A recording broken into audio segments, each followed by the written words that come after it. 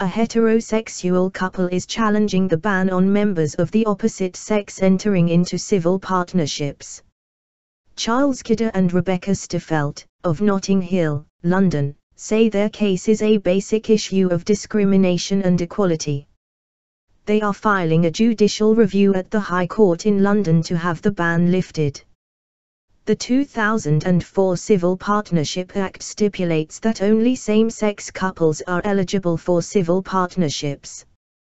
The couple say they are challenging the registrars at Chelsea Register Office, who on October 1 refused to register their notice of intention to form a civil partnership on the basis of our genders and sexual orientation.